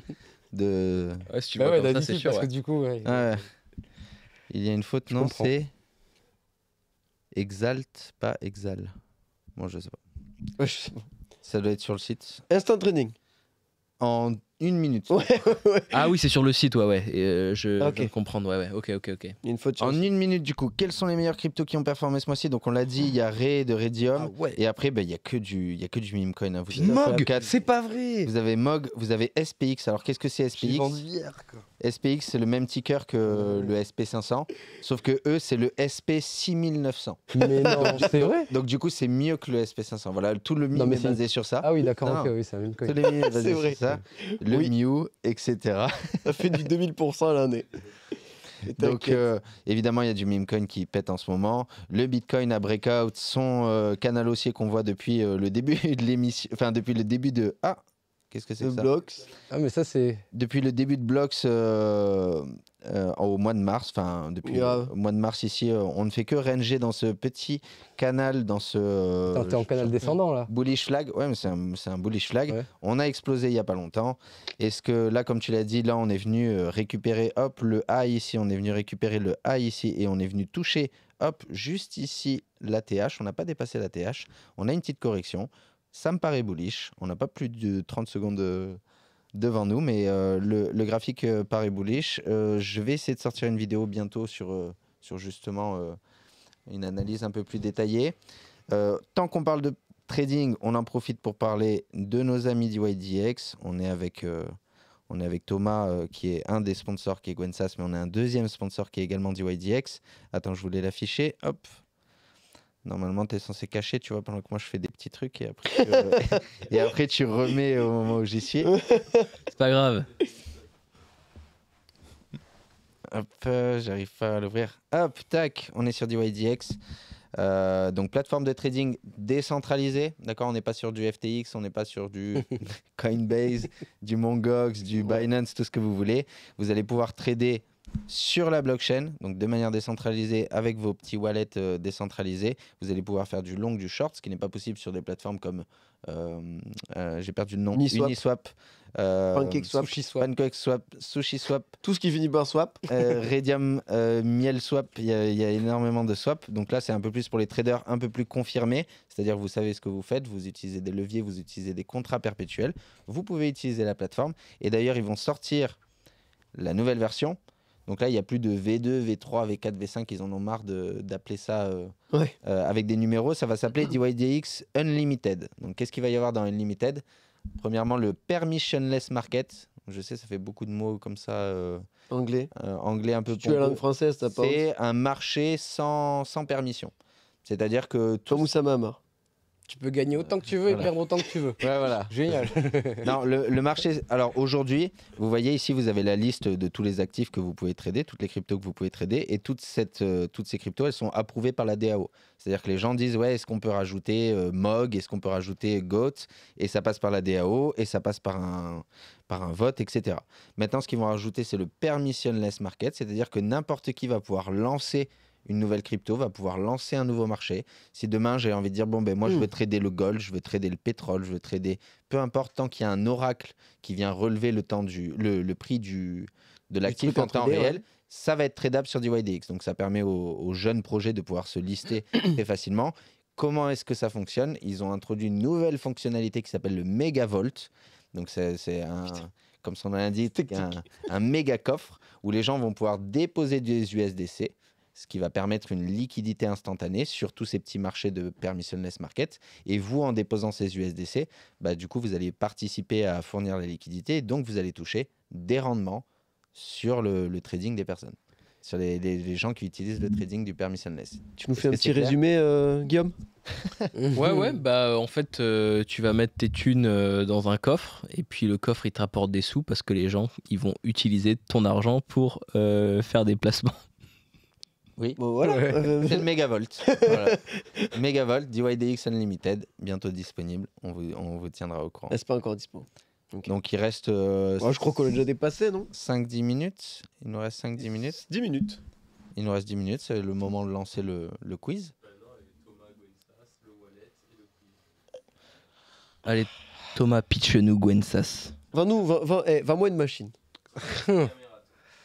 20 Ok. minutes, machine. Vends-nous. Euh, du coup, ben, Gwensas euh, vous permet donc de produire vos bitcoins plutôt que de l'acheter sur les marchés. On s'occupe de tout, hein, de, de, le- de vous proposer les machines au meilleur prix, de la logistique, du transport, de l'installation. Et il n'y a pas de frais cachés, il n'y a pas de, de demande d'argent supplémentaire, même dans le temps à venir s'il y a une panne. Tout est pris en charge sur les 15% de frais qu'on prend chaque mois sur la production. Et donc, ce qui fait que notre business model est sain, c'est que plus vous gagnez, plus on gagne. Et donc, du coup, on a tout intérêt de faire en sorte à ce que vos machines soient les plus efficientes possibles. Donc, euh, voilà, n'hésitez pas à nous contacter bah, sur le site euh, directement.